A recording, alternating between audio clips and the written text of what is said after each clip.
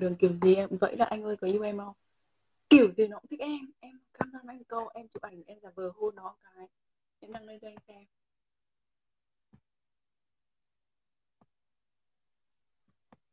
Về Tam Đảo Vĩnh Phúc với anh qua Tam Đảo Vĩnh Phúc. Em đi Tam Đảo hai lần rồi.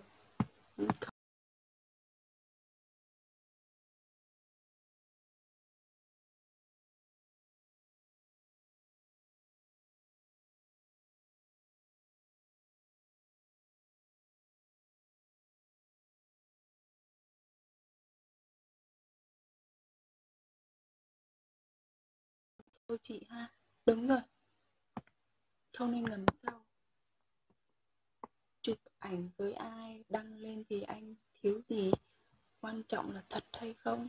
Kiểu gì chả thật.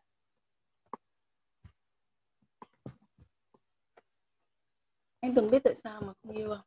Tại vì em nghĩ là con gái bọn em ấy, khi một lần rồi bây giờ mà đi lần nữa bước thêm một lần nữa ấy, là phải kỹ càng chứ không phải là nói yêu thì tất nhiên là bọn em nghĩ là em cũng không phải là vô cái dạng sức môi hay lời rốn mà không đủ khả năng để kiếm với một anh nào đó để yêu hết á.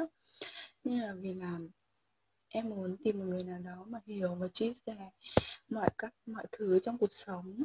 Và yêu thương con gái em. Em chỉ cần yêu thương con gái em là đủ thôi. Còn yêu yêu em chỉ